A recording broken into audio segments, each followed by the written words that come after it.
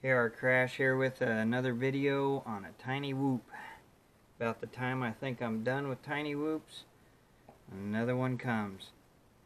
And this one's a special one. Of course, the uh, Spintech motors. The Bees Corp. Or Core, sorry.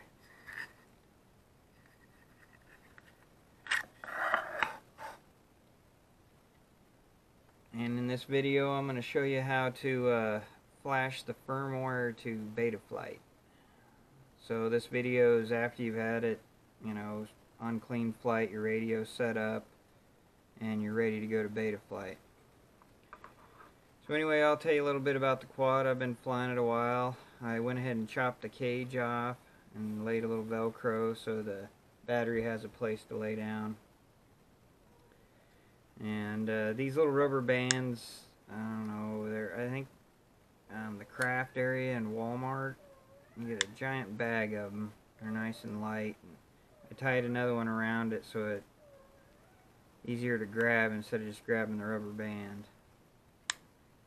And uh, has the Hubsan connector. So I've been running about 300 milli uh, amp batteries on it and three, four minutes, you know, about like everything else. Thought about trying and strapping like a 750 on it, but I haven't got that far, or 650. I'll have to try that and see how it goes. Anyway, let's get to it. And I'm sorry about the camera deal here. Um, I will be coming out with a video on the full setup on Betaflight and some PIDs. I still am messing with them and I'll try and have a screenshot set up and figured out and all that good stuff.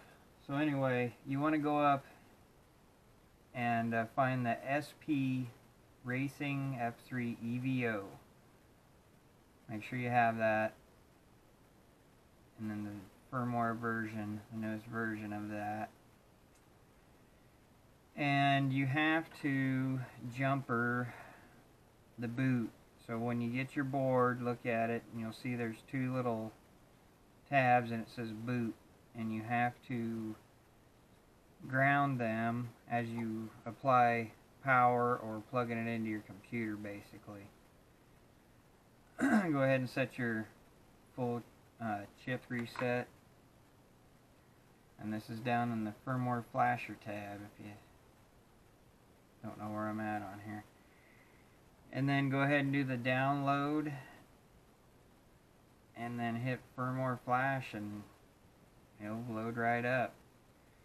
And then after that go ahead and reboot and go to your welcome screen and connect and start setting everything up just like you do in Cleanflight. And yeah there's a humongous difference in the way it flies I guarantee you you will uh, want to get some dual rates going.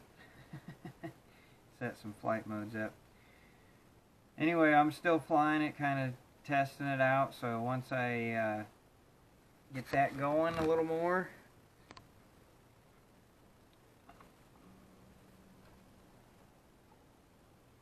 well, we'll get another video on uh, the PIDs that I found and so on. And this little camera you can get off of Amazon and it comes with a clear body that it snaps into and they're pretty reasonable.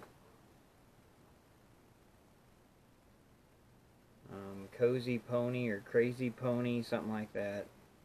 I'll try and put it in the description. KR Crash out.